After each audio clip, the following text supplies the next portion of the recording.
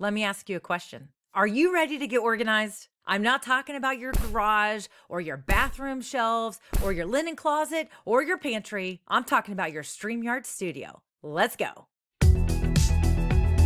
How's it going? My name is Melanie Dyann Howe, and in this video, I'm gonna share some pretty cool features in the StreamYard studio that are gonna help you stay organized so that you can create a great show. Before we get started, I definitely wanna invite you to subscribe to our channel if you haven't already. We have lots of live shows. We are uploading content all the time to help you improve your live videos. So, in this video, I'm actually gonna share with you some features, but I wanna talk about why these features are important. So using graphic overlays and videos and even the banners and the tickers, those lower third things that show up on screen, are really, really great engagement factors. They're gonna help you create a very professional stream that's also gonna increase the engagement. But they can get a little bit overwhelming when we start to introduce all these extra bells and whistles. And if you're creating the show all by yourself, well, you can get lost in the shuffle if you're not careful. So, we're going to talk about ways that you can stay organized and using some of the organization features that you may or may not be aware of inside your StreamYard studio. Now, here we are inside of the beautiful StreamYard studio. The first thing I want to talk to you about are the brand folders. Now, the brand folders come into play when you have different show types, or maybe you just have a different look and feel for different shows that you create. So now some people have multiple brands, like they may have a personal brand, they may have a hobby brand, they may have a professional brand, right? Each of these is probably going to come with a different set of logos and even colors, and of course, graphics like overlays and videos.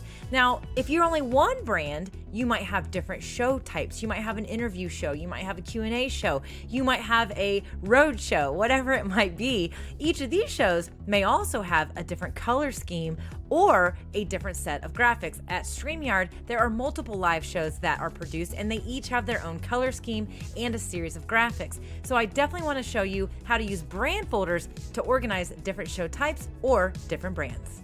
Okay, let's dig in and let me show you how these work. Now, to get to your brand folders, you're actually going to need to be in the brand tab on the right side of your menu navigation inside the studio.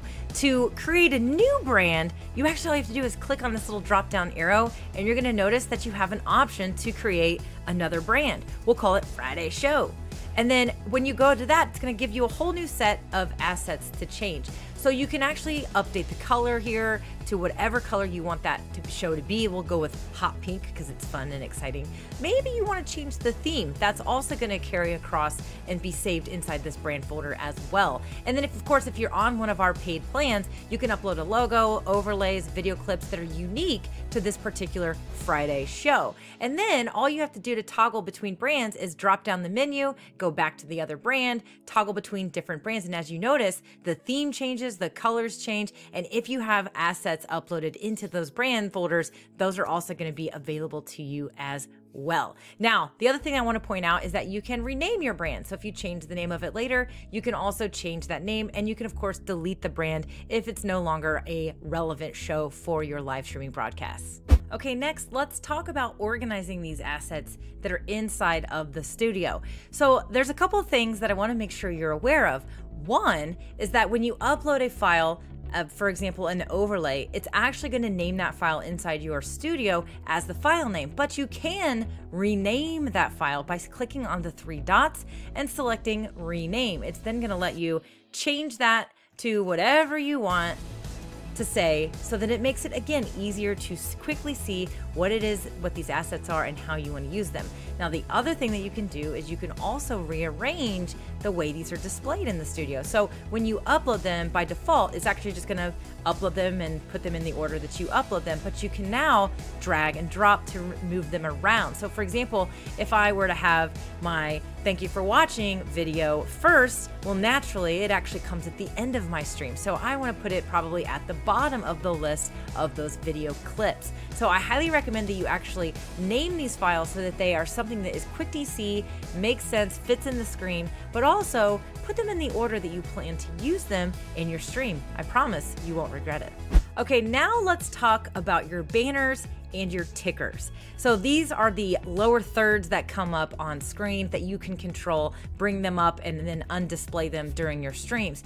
Now, much like the brand folders, you're gonna be able to create folders for your banners and tickers. Now, something that's really interesting is that while inside of each brand folder, it's going to organize your graphic assets, your color, and your logo, the banners and tickers folders are actually accessible across all of your brands. So they're not organized by brand, they are simply organized by folder of those banners and tickers. But what I recommend you do is you create a folder for each one of these brand folders that you also have created. So if you have show type A and you have show type B, well, you should have banner folder A and banner folder B that goes with each of those shows. So you'll notice over here that you can actually simply create a new folder by clicking on the plus sign and we'll call it new folder and you can actually rename that folder later if you decide to. You can also duplicate the folder if you have a series of those banners and tickers that you want to repurpose and maybe just make some tweaks to. And of course, you can delete the folder when you're ready or done with that particular show type.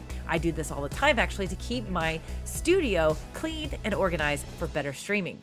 Now, the other thing that's really cool is you can also rearrange these folders as well. So if maybe you want to have one at the top just for you know, precedence, you can do that too. Now, if we go inside of our actual uh, folder itself, you can also rearrange those banners as well. I highly recommend that you put these banners into the order that you plan to use them. This will absolutely make using, uh, keep creating that show flow, that agenda, or however you want to use these banners and tickers much simpler on you. Now, again, you can also edit the names and edit these in the middle of your stream while you're streaming, or you can simply delete them and actually just create a new banner as well. So that is something else that I wanted to make sure that you knew that will actually improve the way that your show flow goes and make it a lot easier for you to utilize these awesome features.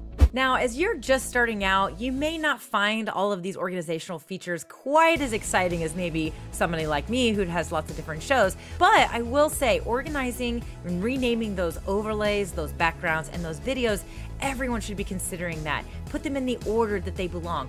Organize your banners and your tickers in the order that they belong. That will actually make your show flow experience a lot easier. And then, of course, as you add more shows to your live streaming journey, which I hope you do, then you can absolutely utilize the brand folder feature, which I absolutely think is a huge game changer. I love using that feature. Now, something I didn't mention during the demonstration is that you can also switch between brand folders midstream and it's going to automatically apply. So it's going to change the coloring, it's going to update the logo, it's going to do all those things and reutilize those assets while you're mid streaming. So you can even use the brand folders for maybe different segments of your show as well. Definitely going to help you stay really focused on your content so you can be very engaging and not looking around trying to find the different things that you want to apply to your live video. So I hope you found these features as exciting and as fun as I do, and I hope you start using them. Now, if you found this video helpful, obviously let us know in the comments how you plan to use these features. And of course, as always, make sure that you are subscribed to the StreamYard channel and click on that notification bell so that you do not miss any of our videos or our live shows as well. Thank you for watching this video. I hope you found it helpful.